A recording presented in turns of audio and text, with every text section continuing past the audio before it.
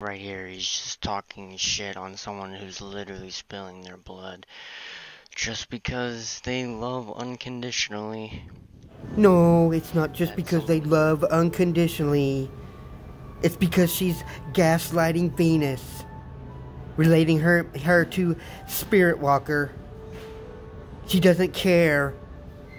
She thinks because Spirit Walker spilled blood for her, trying to form a, a mob against us, against me in particular, is something real, and it's not. Venus has been flying her colors clear since 2018 that she's transgender. Spirit Walker doesn't has is not homosexual. He hasn't shown any signs of being homosexual or gay. He gay bashes frequently, constantly. It's a joke. It's he's using it to harass blood over intent. No, I don't love those kind of people. I don't, Darian. I'm sorry.